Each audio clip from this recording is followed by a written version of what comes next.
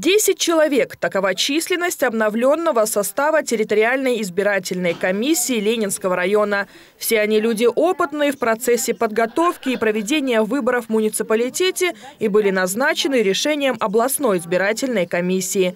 Почетную должность председателя ТИК доверили Вере Маркиной, ранее занимавшей разные ответственные должности в административном аппарате муниципалитета. За а, правопреемственность я против того, чтобы что-то ломать, потому что а, коллегами также была проделана большая работа. Сейчас, конечно, надо ее подхватить.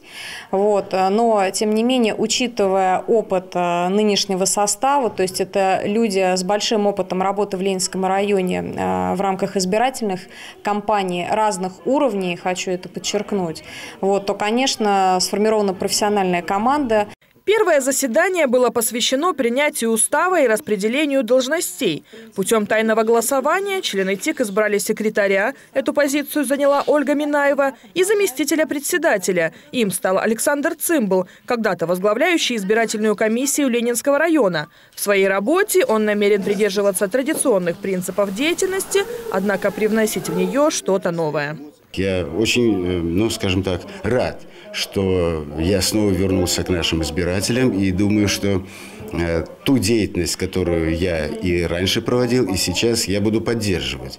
И судя по составу вот, комиссии, по их реакции на все, на сегодняшнее заседание, я думаю, что будет очень позитивный результат. Львиная доля членов комиссии уже не в первый раз входит в ее состав, но есть и новички. Для адвоката, представителя Общественной палаты Ленинского района Вячеслава Красноноса, грядущие пять лет в рядах территориальной избирательной комиссии муниципалитета – это возможность своими знаниями в области юриспруденции помочь работе органа.